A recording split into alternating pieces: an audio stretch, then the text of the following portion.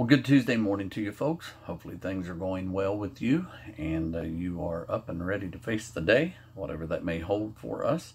The book of Galatians. Today in chapter 2, I'm going to start reading in about uh, verse 16.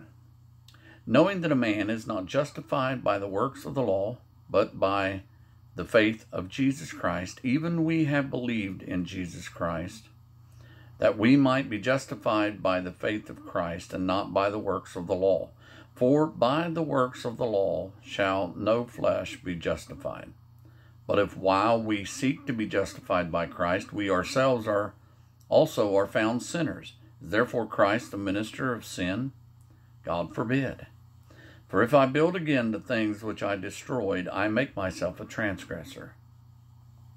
For I, through the law, am dead to the law, but that I might live unto God. I am crucified with Christ, nevertheless I live.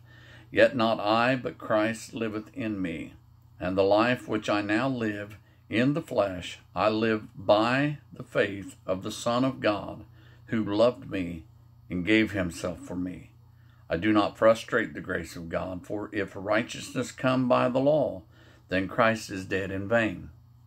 So, Righteousness does not come by the law. He's not trying to frustrate the grace of God by trying to work for anything, but he understands that it is grace. It is uh, unmerited favor that is shown unto us. And so Paul says, I am crucified with Christ. Nevertheless, I live.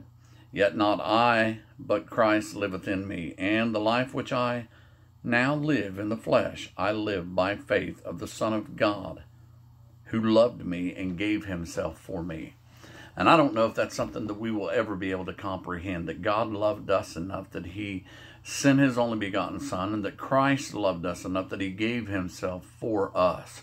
And so, therefore, when we have asked the Lord for forgiveness, when we have repented of our sins, when we have turned from that, when the Spirit of the Lord has drawn us to Him and we have answered that call by coming to Him. Do you know in the book of Genesis, we find that the Lord God comes walking in the cool of the day and He calls to Adam, Adam, where art thou? If you've ever sat in a church when an invitation has been given, as the old folks, older folks would call it, and still today, altar call. That is a call to come and to repent. Now, some people find that offensive. They say that churches don't need an altar. An altar in the Old Testament was just simply for sacrifice. And that's simply what we do uh, in our churches today that I am associated and affiliated with is we use that uh, altar for a place to come and to repent of our sins. It's just a meeting place with God. Does it have to be there? No, it doesn't have to be there. It can be in your automobile, uh, it can be um, in your home, it can be out in the woods somewhere, uh, but the altar has to be in here. The Lord draws us, and until He does, you will never be saved.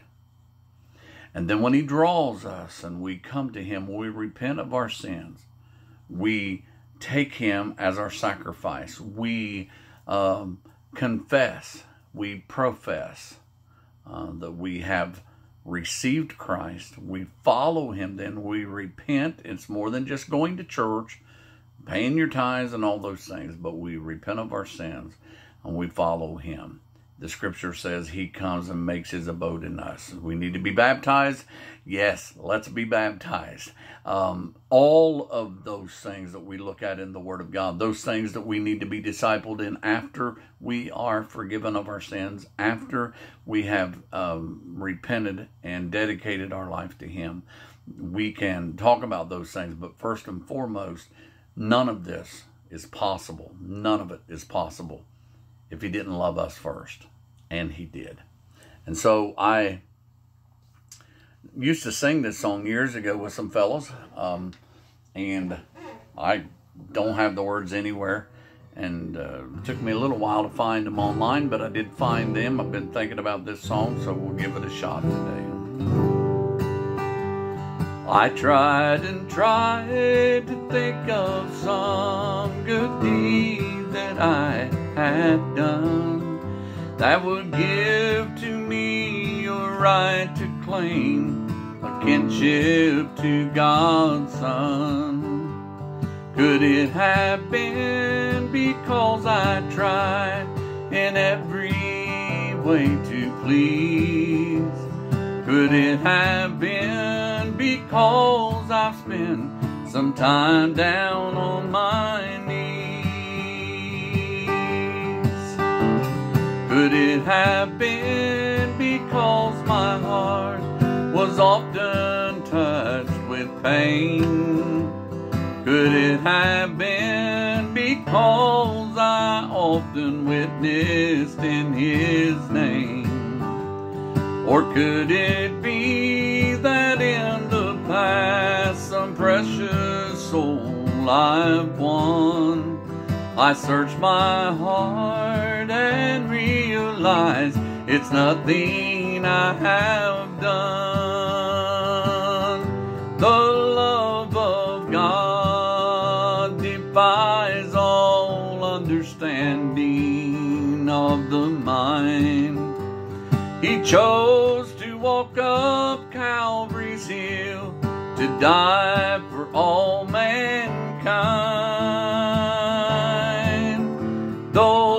Ugly scars he bore for me while hanging on a tree was the price of my redemption, and he did it all for me.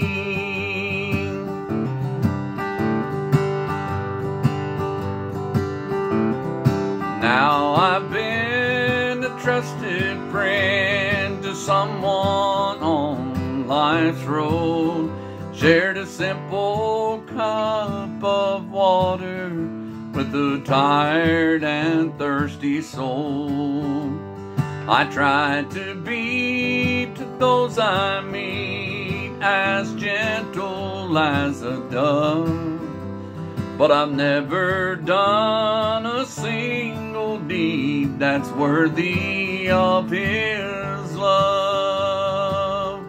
The love of God defies all understanding of the mind. He chose to walk up Calvary's hill to die for all mankind. Those ugly scars he bore for me while hanging on a tree was the price of my redemption, and he did it all for me. Was the price of my redemption, and he did it all for me. All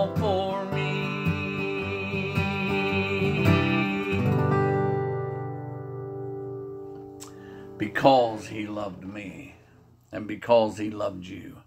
Um, the love of God defies all understanding of the mind. Um, but I'm glad He loves us. Lord, I thank you for the day you've given us. God, I pray that you would encourage, strengthen, help those that hear this today to know and to see and to realize how much you care for them, how much you love them. In Jesus' name, amen. God bless you, folks. See you Wednesday.